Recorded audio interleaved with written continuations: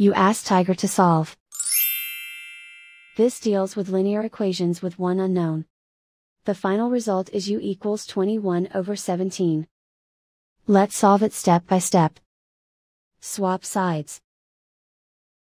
Isolate the u. Multiply both sides by 7. Group like terms. Multiply the coefficients. Simplify the fraction.